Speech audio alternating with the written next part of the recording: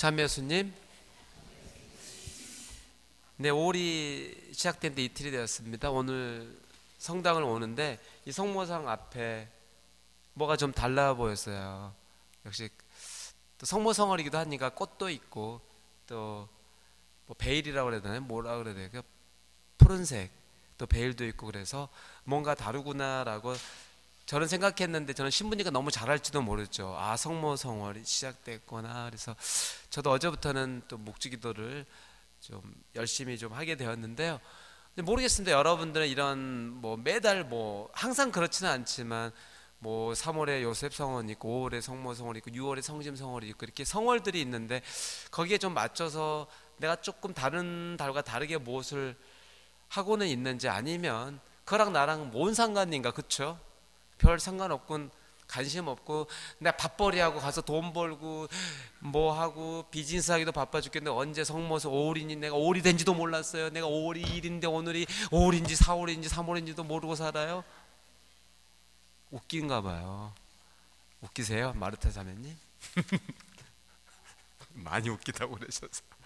아니 그게 정신없이 살지도 모른다는 거죠 저희는 그래서 성당 올 때도 1분 뒤에 와고 그냥 허겁지겁 뛰어오느라고 그런 적도 있고 그렇습니다. 저는 신앙생활을 하면 나에게 좀 이득이 되게 좀 공격적으로 신앙생활 하는 것도 참 필요하다는 생각을 가끔씩 해봅니다. 여러분들 성당 다니는 게 하느님을 위해서 다니는 것도 아닌 것 같고요. 근다고 여기 저를 신부도 아니고 수녀님에서 성당 다니는 것은 아니라고 생각합니다. 여러분 자신들의 영혼 구원을 위해서 다닌다고 저는 생각을 합니다. 영혼 구원을 위해서 무엇을 해야 될지는 이미 수도 없이 많이 들으셨습니다. 하지만 하지만 듣는 거는 듣는 거고 사는 건 또 사는 거고 따로 국값이 돼 버리는 거죠. 그렇잖아요. 그렇기 때문에 아, 또 죽을 때 하나님께서 자비하시니 내가 죄가 많아도 나를 지옥으로는 보내지 않겠지라는 또 희망을 갖기도 하고 이런 게 우리의 모습 입니다. 하지만 좀 심각하게 주일의 미사를 오시기 전에는 내가 내 자신의 영혼 구원을 위해서 도대체 무슨 마음가짐으로 무슨 몸가짐으로 살고 있는지 심각하게 생각할 필요도 가끔씩은 있다는 이야기입니다. 그런 것을 잘 보여주는 분이 계셨는데 오늘 일독서 사도행전 사도행전 9장이 전해주는 바오로 사도의 이야기입니다. 바오로 사도는 그리스도인들을 박해했던 사람입니다. 그리스도를 믿는 사람들을 잡아다가 감옥에 가두었던 사람입니다. 그러다가 다마스쿠스 가는 길에 거기서 그리스도인들이 많다고 해서 그들을 잡아서 감옥에 집어넣기 해서 가다가 웬일입니까? 번쩍이는 빛과 무슨 소리를 듣게 됩니다. 그랬더니 바오로 사도가 묻습니다. 선생님, 당신은 누구십니까? 그때 예수님께서 말씀하시죠. 나는 너가 박해하는 예수다라고 말이죠. 이 체험을 통해서 바오로 사도는 네, 바뀌게 됩니다. 회심을 하면서 새로운 삶을 살게 되었습니다. 지금까지는 자신이 예수님을 박해오고 살았지만 오히려 반대로 이제는 자신이 받겠던 예수님을 위해서 자신의 삶을 온전히 바치게 되는 것이죠. 그래서 이제는 오히려 자기가 같은 편이었던 유다인도 하려금 박해를 받게 되는 처지가 되었다고 오늘 일독서는 전하고 있습니다.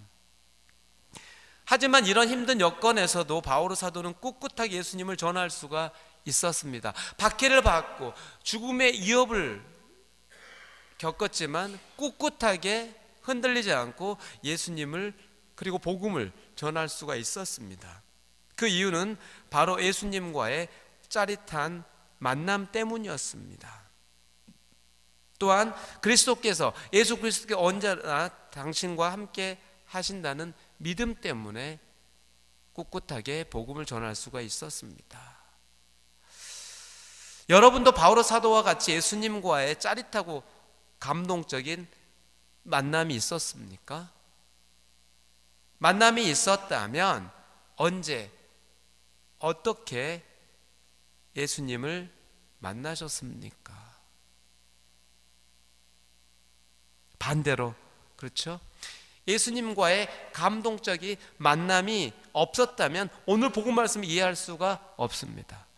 죄송하지만 오늘 요한복음 나는 포도나무요 너는 가지다라고 말씀하신 그 예수님의 말씀을 여러분들은 이해하려고 해도 할 수가 없습니다. 예수님과의 어떤 만남이 없었다면 말이죠.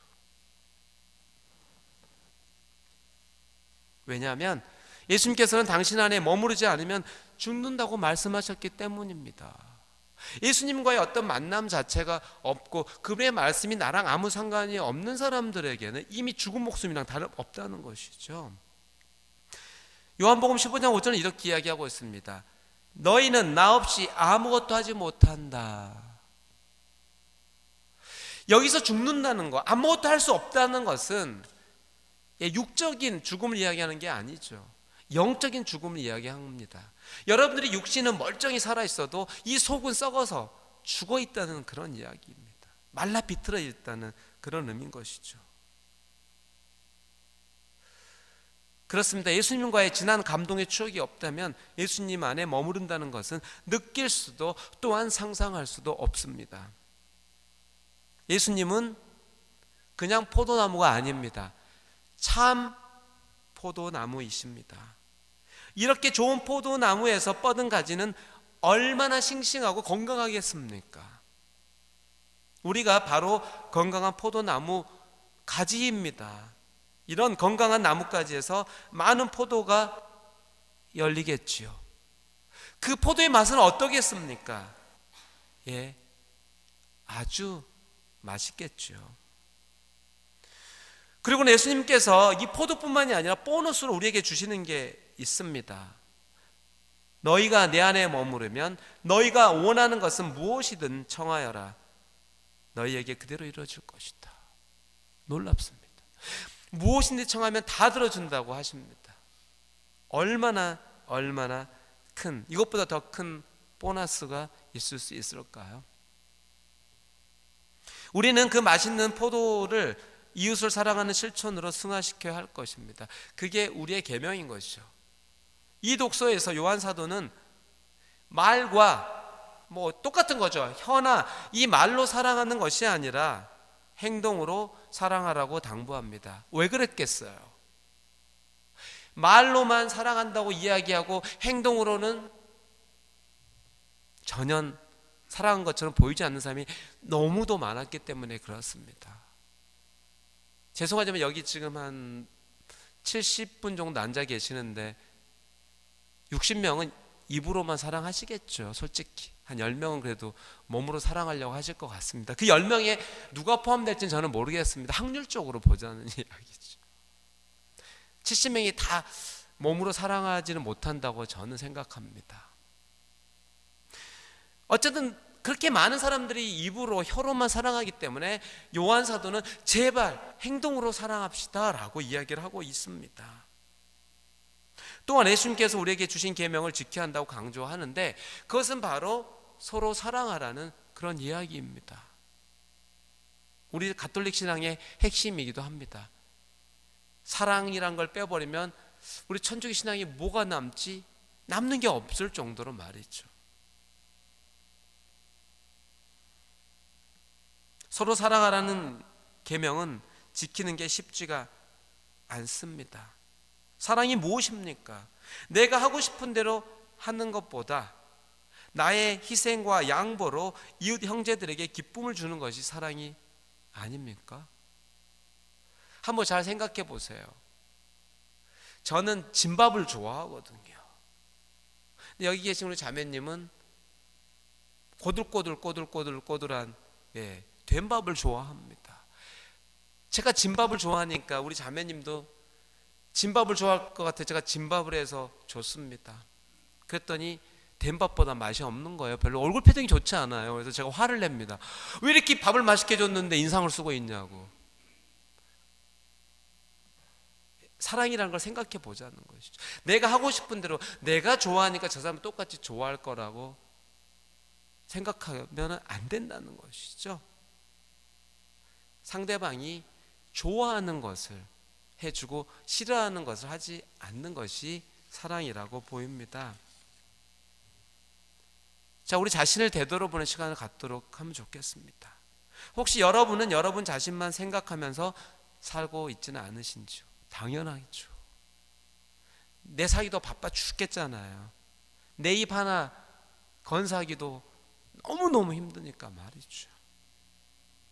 두 번째, 여러분들은 나무를 위해서 얼마나 희생하고 있다고 생각합니까? 제가 얼마 전에 들었습니다. 우리 주일날 점심 판매하는 거 있는데 그런 것 좀 없앴으면 좋겠다. 귀찮게 그런 걸 왜 하냐라고 말한 분들도 계시다고 들었습니다. 귀찮죠. 왜 해야 됩니까? 근데 왜 해야 되죠? 오늘 이 말씀 때문인 거죠. 희생이 없는 신앙생활이 그게 신앙생활이에요. 취미 활동이지. 그래서 만약에 여기 주일날 여러분 중에 그렇게 생각하시는 분도 계실 수 있어요. 귀찮게 이런 거 왜 하냐고 생각하시는 분 계시다면 여러분은 신앙생활을 취미생활을 하고 계신 겁니다. 예수님은 십자가에서 못 박혀서 희생하셔서 목숨 바쳐도 되는 것이고 나는 절대로 하면 안 되는 거죠. 그런 마음이 속에 깔려 있는데 어떻게 참 신앙이라고 할 수 있겠습니까? 가짜 신앙이 있는 것이죠. 입으로만 혀로만 사랑한다고 고백하는 사람일 뿐입니다. 세 번째, 여러분의 편안함을 위해서 형제들이 겪고 있는 불편함에 불편하면은 관심이 없지는 않으신지요. 나만 편하면 됐지 남이 불편하든 말든 나랑 뭔 상관이냐고 무관심한 적은 없냐는 그런 이야기입니다. 또한 평소에 남에 대한 이해보다는 흉을 자주 보고 있지는 않으신지요. 내 마음에 들지 않으니까 쟤는 다 잘못된 사람으로 쟤는 이상해 뭐 어쩌고 저쩌고 이렇게 흉을 자주 보지는 않으신지요. 만약에 여러분이 이러한 질문에서 예라고 대답하신다면 여러분은 사랑의 실천에서 멀어져 있는 것입니다. 그러면 여러분은 포도나무이신 예수님과 떨어지게 되어 결국 말라 비틀어 죽게 됩니다. 우리를 건강하게 양육시켜 주는 것은 우리 모두가 형제들을 사랑하는 사랑의 실천입니다. 사랑의 실천을 했을 때 우리는 죽지 않는다는 것입니다. 사랑의 실천이 없는 그 공동체는 이미 말라 비틀어 죽어 있다는 것이죠. 산 것처럼 살짝 보일 수 있을지는 모르지만 말이죠. 그러므로 이제부터는 내 자신보다 옆 사람에게 많은 관심을 보냈으면 좋겠습니다. 남이 어떻게 살든 모른다는 태도보다는 관심을 가질 때 사랑을 실천하고 있다고 할 수 있기 때문입니다. 여러분 모두가 늘 예수님 안에 머물러서 은총과 사랑을 충만히 받았으면 좋겠습니다. 예수님, 저에게 늘 머물러 주십시오. 주님은 우리의 생명, 우리의 빛이시니 당신 없이는 우리는 죽게 되고 암흑 속에 빠지고 마나이다. 예수님, 저에게 늘 머물러 주십시오. 아멘.